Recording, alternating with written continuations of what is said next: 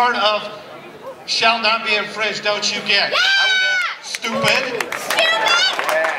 What I want the president to understand is, Mr. Obama, the Second Amendment is not about skeet shooting. Yep.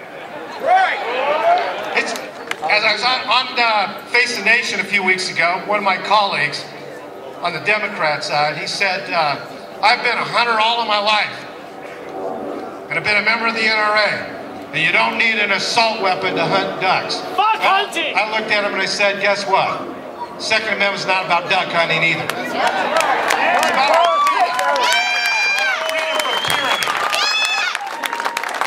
It's about the freedom of this country and everything that we hold dear. This assault on the Second Amendment, it's not just an assault on the Second Amendment, it's an assault on the entire Constitution. Benjamin Franklin said something over 200 years ago. And he said those that are willing to trade their freedom for security deserve neither and will probably lose both. Yeah. It was as true then as it is today. When it comes to those folks on the left that want to encroach upon our rights, let's do this. Let's fight them till hell freezes over, and then let's fight them on the ice. All right? Thank you.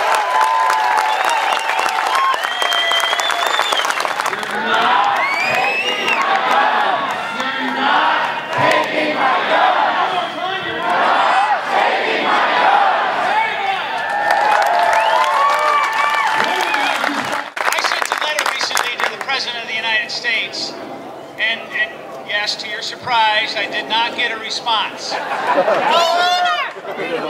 I think all the mail's going through Janet Napolitano. So I know for sure that information's getting filtered. In that letter, I joined hundreds of sheriffs across the United States of America that stood up to this president and said that you are not a dictator or a king, that you are one of thousands of elected officials who serve at the pleasure of people. this is a republic, and you cannot circumvent the legislative process. There's 20,000 laws and regulations today, I know this in law enforcement, across America that already inhibit, regulate, restrict some form of our weapons. How did that work? And in that letter to the President, I told him that I shall not, as a top law enforcement official in my county, enforce any, quote, law that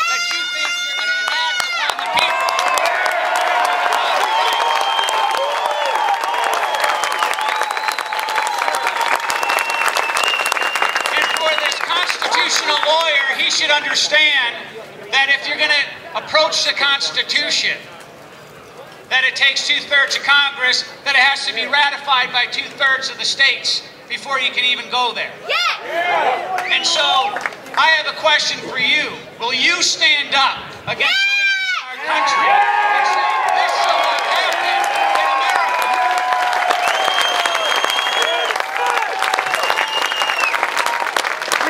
And I swear as an Army private, as an Army officer, as a police officer, and as a sheriff, to preserve, to protect, and defend the Constitution of the United States of America.